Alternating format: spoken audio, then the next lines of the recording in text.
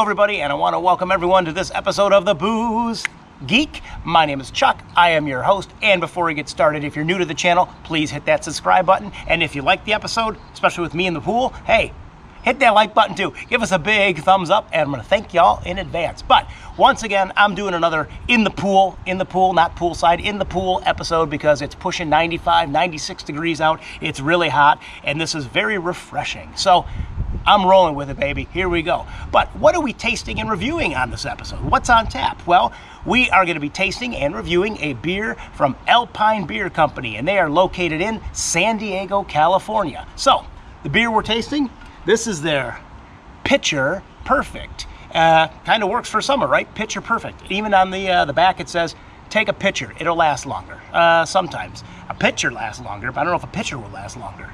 That didn't come out right, but it works anyways. But anyways, this beer. So this is a pale ale. This beer clocks in at 6% ABV and it's got an IBU of 50 and it's made with three different types of hops and those hops are Mosaic, Eldorado, and Nugget. So without further ado, it's hot, I'm baking in the sun. Well, the sun's behind a cloud right now, but either way, I'm cracking it open. Here we go. Boom, boom. One, two. Whoa! Holy bejeezers. Well, well, I guess uh, it's a good thing I'm in the pool on that one. Uh, that one went all over the place. It's a good thing I'm outside. Uh, there's still enough in here to review, sure.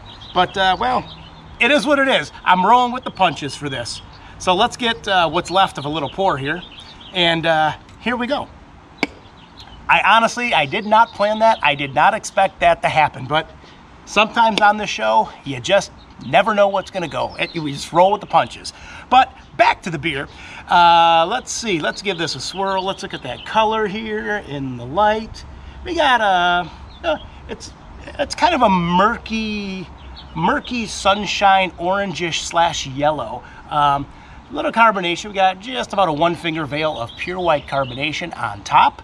But uh, yeah, well, I said, we got enough left to review, so that's what matters, right? Let's give this a swirl and give it a nose. And once again, I did not plan that. I did not shake the can up. But here we go. Let's give it a nose. Well, well, just for starters, the aromas are coming out a little bit thin. I mean, we're getting some hay, we're getting some grassy overtones. Some doughy notes. Yeah, but just a little thin, a little thin on the nose. But let's give this a swirl and uh, let's give this a sippity sip. Here we go. Prost.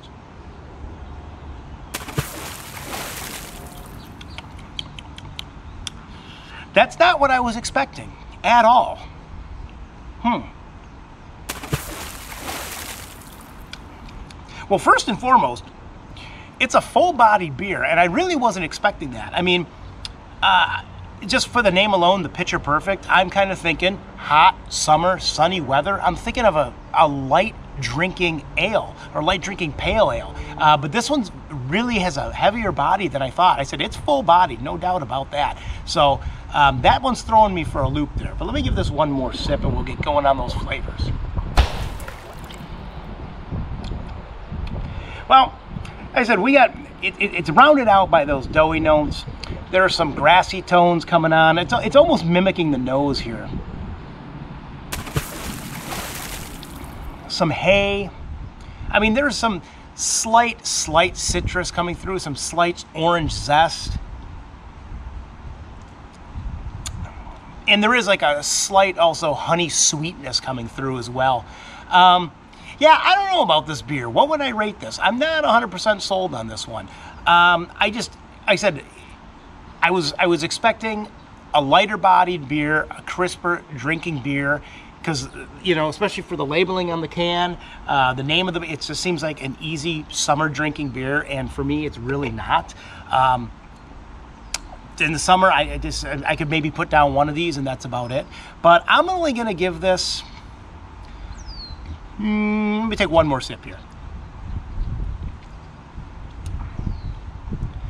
yeah, I don't know. I'm only going to give this one. I'm going to give this a 4.5 on the pint meter. I'm just, I'm, I'm not. Yeah, I'm not thrilled about this beer. I said my, my mind is thinking something else, but I think there's some there's some issues with it. Uh, I just, I there's the, the, the aromas are really thin. There's not much flavor going on on the palate. It's just, it's, it's, you know, it's just, it needs something. It needs more oomph.